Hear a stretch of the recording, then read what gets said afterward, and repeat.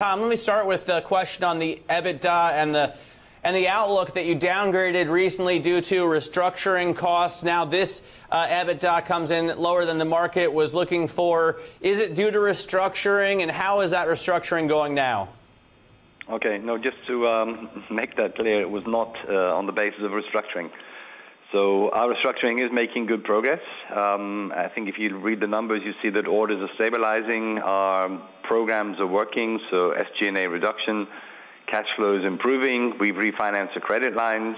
We've initiated the share buyback. So all those things are on track. The uh, the bottom line performance is actually due to a 53 million provision that we took for certain legacy projects uh, out of the U.S. And these legacy projects are projects that are either in litigation, so they're in the courts, and we're being very prudent in terms of the expected outcome. And uh, there is one major project which is ongoing in the U.S. where we don't like performance, we don't like the risk profile, and again, they were being prudent, hence the um, hence the 53 million provision. But it's not coming from additional restructuring charges.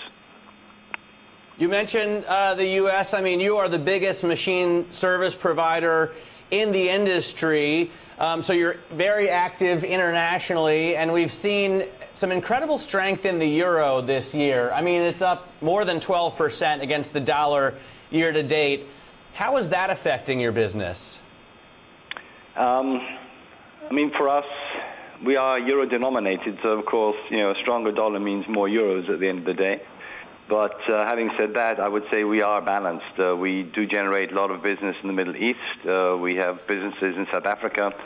So our portfolio is uh, relatively well balanced. But I, I, do see that the, the business sentiment, despite the lower dollar in the U.S., is probably just a little bit more boyish than the ones we're seeing in Europe. Um, good morning, Guy Johnson in London. Can I just come back to the restructuring? Um, you, are getting rid of businesses, you're reshaping the business. Is that on track? Are you currently kind of where you would expect to be in terms, in terms of some of those disposals? Yes, absolutely. Um, you know, when we unveiled the strategy in February, we targeted uh, 13 companies that we wanted to dispose of. These were uh, dilutive companies, so companies that were you know, having a, a negative effect on our bottom line. Of those 13, uh, five were actually sold, and we now have a sixth one that was um, sold or closed after the end of the quarter. So we're making very good progress. So yeah, okay. So you got three. I'm just trying to do the math. Sort of, where, where's the rest of the, that process underway? And sort of, where is the rest of that process that is underway?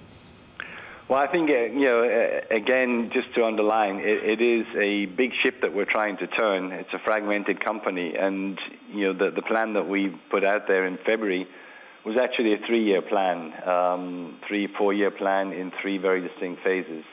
Um, we are making good progress on all fronts, and uh, part of that is, as you pointed out correctly, selling off these loss-making entities. so of the 13, six are done, so we have seven to go. Uh, Mr. Blades, let me just quickly ask you about the German elections. I don't want you to pick a favorite, obviously, um, but we're six weeks away and we still don't have really a clear idea of what kind of coalition that we're going to see here. What are you looking for uh, from the election and, and the next government? What are, what, are, what are the top points that you need this government to tackle? I think. Uh you know, in a nutshell, would be status quo. I mean, the, the government is, is doing relatively well, I would say. Uh, we don't need any large upsets or changes. Uh, where I would like to see some more activity is in planning uh, nuclear decommissioning, which has been on the uh, agenda for a long time, but little or no action as yet. And I think that is a topic that will come back to bite us if we don't uh, take the bull by the horns a little bit sooner.